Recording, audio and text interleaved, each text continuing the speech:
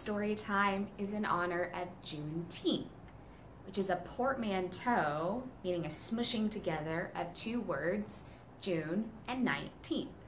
Because it was on this day, back in 1865, that Union soldiers landed in Galveston, Texas, to announce that the war is over and that the slaves were free. So that is why we celebrate June 19th, or Juneteenth. So today's story is about Juneteenth. It's called All Different Now, Juneteenth, the First Day of Freedom. Now, this story, the author or the person that wrote the words had something else to say to us in addition to the story.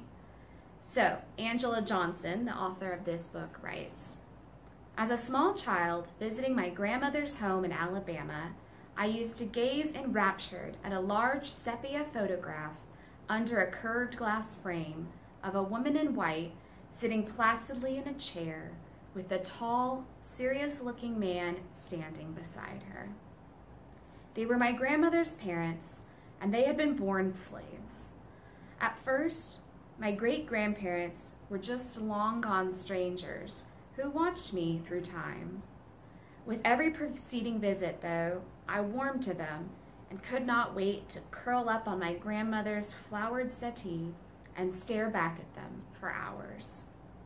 They were a mystery, but tangible proof to my young eyes that all I'd learned about slavery in books was a reality in my own family.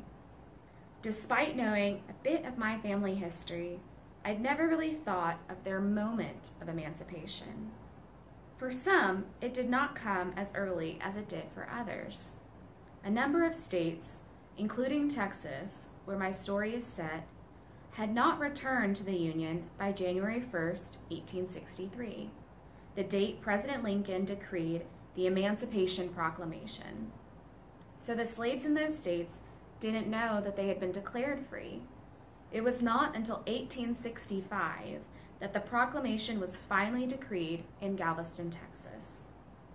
Juneteenth commemorated on June 19th, is the celebration of that event, with Texas widely believed to be the first state to observe it. Today, more than 40 states recognize Juneteenth in some way. I'd love to know how my great grandparents celebrated when they were told they were free.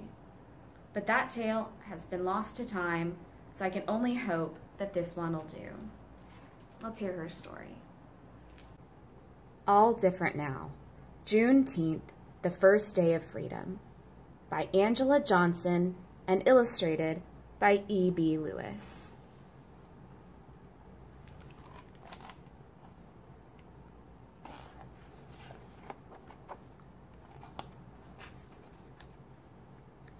A June morning breeze off the port blew the smell of honeysuckle past the fields across the yard. And into our room to wake us.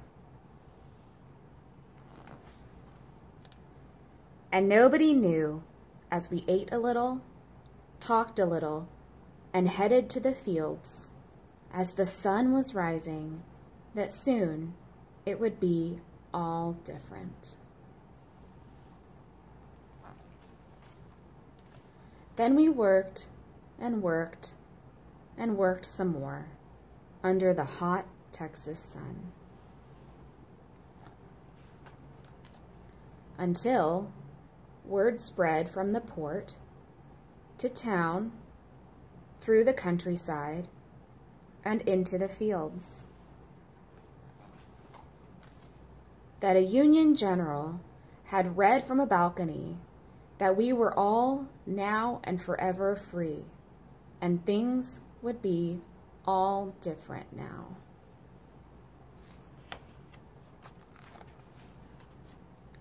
I watched as my Aunt Laura sang as she held her baby. Mr. Jake, who some say was a hundred, cried quietly. And a group of grown people bowed their heads and whispered things to each other I could not hear.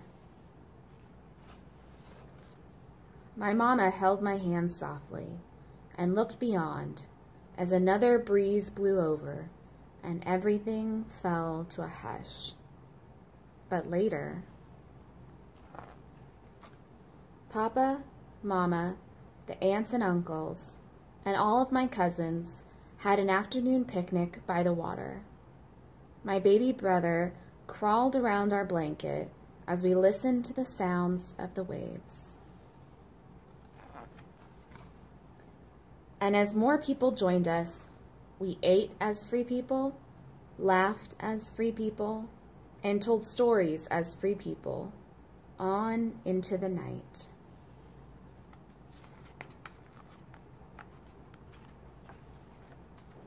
What was before would be no more.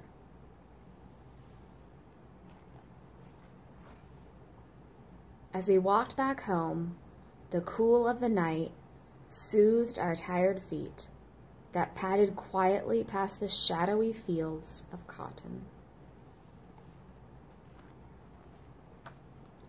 And in the morning, the smell of honeysuckle will wake me again beside my sisters and brother to a time that will be for all of us all different now. The end.